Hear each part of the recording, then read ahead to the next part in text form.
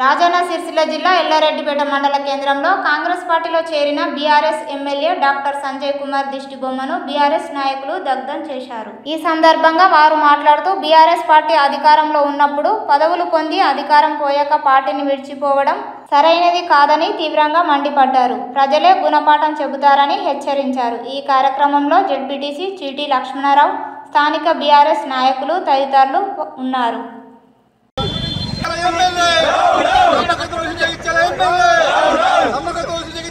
TRS పార్టీలో పనిచేసి పది సంవత్సరాలు ఫలాలను అందుకొని లబ్ధి పొంది లాభాలు అందుకొని బాటలు మహానాయకులు మన ఎమ్మెల్యేలు మినిస్టర్లు చేసిన మహానాయకులు. పార్టీని వీడి అంటే ఎక్కడంటే ఒక దేశ రకంగా ఈ రోజు చూస్తే వాస్తవానికి మన అసలు ఎమ్మెల్యేలకు గౌరవం లేదు. దేశాలంటే ఇంత గౌరవించి డబ్బులు ఇస్తేనే ఏదో చేస్తారు కానీ అంతకన్నా అధ్వానంగా తయారై పార్టీని మారడానికి పార్టీతో సంపాదించుకోవడానికి వాళ్ళ ఆస్తులు కాపాడుకోవడానికి ఒక డ్రామాలు చేసి బ్రహ్మాండమైన పది సంవత్సరాలు మన కేసీఆర్ ప్రభుత్వంలో వీళ్ళందరూ కూడా లబ్ధి పొందిన నాయకులంతా కూడా పోచారు శ్రీనివాస్. ఎప్పుడైనా రక్తం ఉండని రోజులు ఆ బీఆర్ఎస్ పార్టీ వాస్తవానికి తెలంగాణలో ఉంటుంది. కాబట్టి వాళ్ళు ఏమో చేస్తారని కాంగ్రెస్ నాయకులు అంటున్నారు కాబట్టి ఇవన్నీ సాగవు. రేవంత్ రెడ్డి గారు మీరు ఆలోచించండి.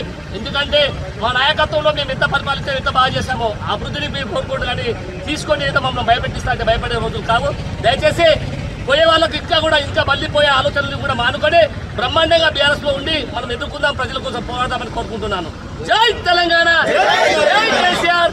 జై కేటీఆర్ నమ్మక ద్రోహి అయినటువంటి జగిత్యాల ఎమ్మెల్యే డాక్టర్ సంజయ్ కుమార్ పది సంవత్సరాలు టీఆర్ఎస్ బీఆర్ఎస్ ప్రభుత్వంలో ఎమ్మెల్యేగా పనిచేసి అన్ని రకాలుగా అధికారం అనుభవించి ఈరోజు అధికారం పోగానే ఒక్కరోజు కూడా ఓర్చుకోకుండా ఏదైతే రాష్ట్రంలో ఉన్నటువంటి ప్రభుత్వం ఏదైతే ఉందో కాంగ్రెస్ ప్రభుత్వం ఉందో వారి ప్రలోభాలకు లొంగి ఈరోజు అధికార దహంతో ఈరోజు ఈ బీఆర్ఎస్ను వీడి కాంగ్రెస్కు పోవడం జరిగింది. ఈరోజు ఇలాంటి నమ్మకంతో ఉన్నటువంటి ఎమ్మెల్యేలు మన బీఆర్ఎస్ ప్రభుత్వంని వీడినంత వీడినంత మాత్రాన బీఆర్ఎస్ ప్రభుత్వానికి బీఆర్ఎస్ మన పార్టీకి వచ్చే నష్టం లేదు. ఎందుకంటే బ్రహ్మాండమైన సృష్టించినటువంటి చాలామంది కార్యకర్తలు లక్షలాది మంది కార్యకర్తలు తప్పకుండా వచ్చే రోజుల్లో ప్రజలకు ఏదైతే రాష్ట్ర ప్రభుత్వము దొంగ వాగ్దానాలు చేసి అధికారంలోకి వచ్చి ఈరోజు ఒక్క వాగ్దానం కూడా అమలు చేయని పరిస్థితిలో ఈరోజు తప్పకుండా వచ్చే రోజుల్లో కేసీఆర్ గారి నాయకత్వంలో కేటీఆర్ గారి నాయకత్వంలో తప్పకుండా పోరాటం చేస్తాం. వస్తూ ఉంటాయి కొత్త నీళ్ళు వస్తూ ఉంటాయి పాత నీళ్ళు పోతూ ఉంటాయి. కాబట్టి వచ్చే రోజుల్లో మనం బ్రహ్మాండంగా అందరము కలిసికట్టి ఒక్క దాటిపై ఉండి ఏదైతే కేటీఆర్ గారి నాయకత్వంలో బ్రహ్మాండంగా పనిచేసి మనం ముందుకు పోవాలని సందర్భంగా తెలియజేస్తూ మరొకసారి ప్రోగ్రామ్ తోగిన బీఆర్ శ్రేణులందరికీ నా హృదయపూర్వక ధన్యవాదాలు చేస్తూ జై తెలంగాణ!